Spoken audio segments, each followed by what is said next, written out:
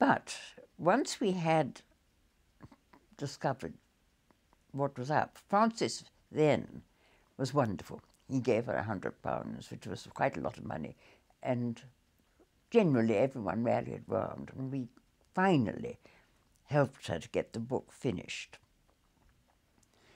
I didn't go down at that stage. Esther Whitby, who was uh, editor, worked me, went down and helped her, took dictation and got it sort of written out. She had these awful shopping bags with scribbled buttons.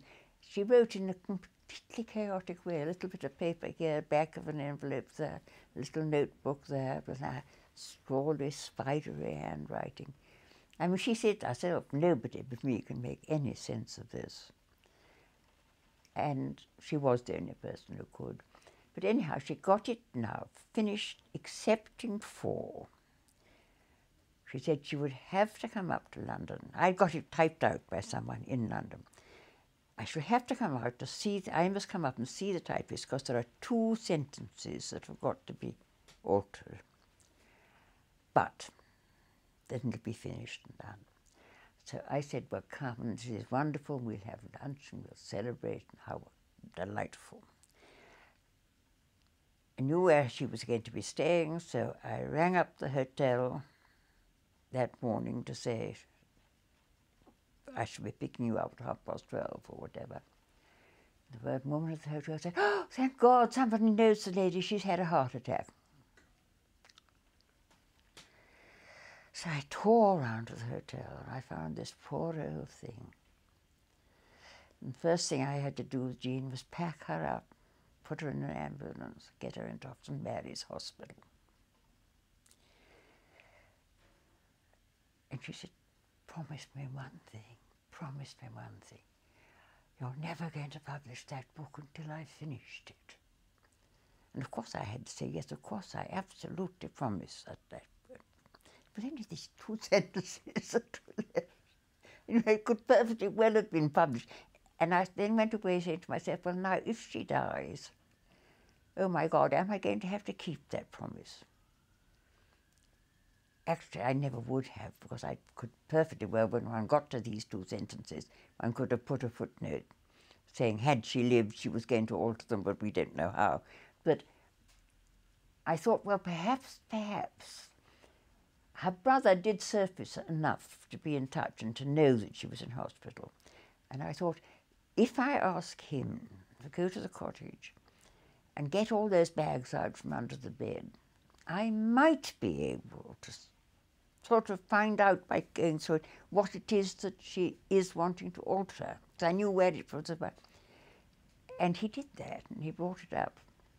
And it was absolutely hopeless. Nobody could possibly have found out. And so we, she never knew that I did She took it all back, put it back exactly as he'd found it. We left it. And anyway, she didn't die. She came round by that. And quite a long time after that, I mean, she was too weak to do anything for a long time. But apparently, either she had a new doctor or her old doctor gave her a new drug. Something happened that she suddenly felt rather better and was able to do the tiny last finishing touch. And she wrote me, and, and Max died.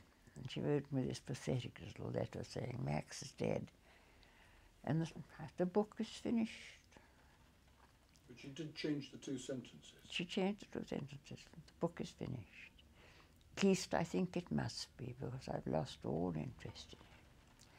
And so I got the book published. And it was, of course, a great success because it's a that book. And we had decided that if it was a success, we would then follow it with all the others.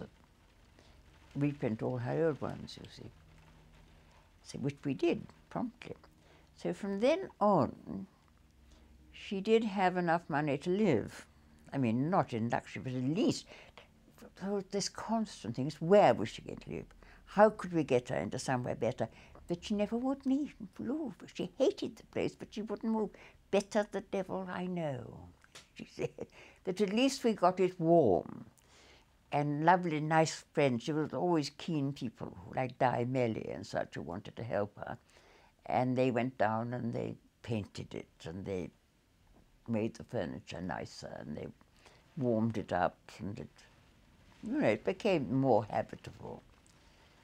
And Sonia, marvellous Sonia, used to bring her up to London every winter. That's George Orwell's wife. Yes, and used to pay for it. Put her in a really comfortable, luxurious hotel, buy her pretty nighties and things, give her parties. Of course, Sonia never was given credit for it, really. She was very self conscious about having George's money from his books. And she had made a resolution that she was going to use it mostly to help penniless writers. And she really spent an awful lot on Jake June. And not just money, but time and thought. And she was very thoughtful. She would fix her up at hotel and she would go and see the people at the hotel and she would explain the sort of thing that Jean needed. She would pay all the tips in advance. I mean, she was, she was wonderful. She would even go shopping with Jean, and my God, was that a task. I always got out of that. Shopping with Jean Rhys. Yeah, shopping with Jean Rhys, wow. But there were endless sort of devoted women turned up who would go and do these things. There was a wonderful couple of gay ladies who, who, who did and went down and, and one of them became her amanuensis for a bit. Anyone who did anything for Jean was in trouble before long because they, you know, they was always they did something wrong or they were, you know, she would be paranoid about them. Uh, but um, they were really helping her tremendously.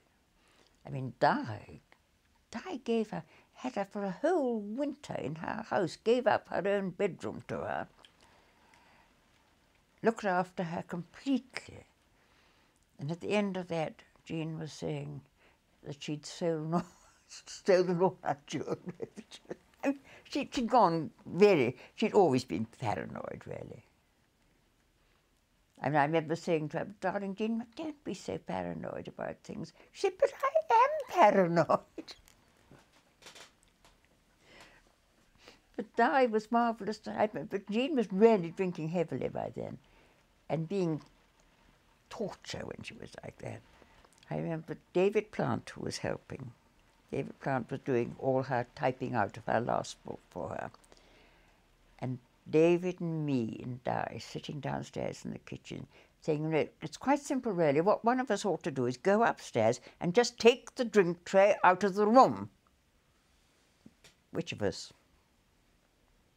And Di saying, we're about as much use as the three wet Kleenexes. None of us could do it. She would have thrown such a, such a rage.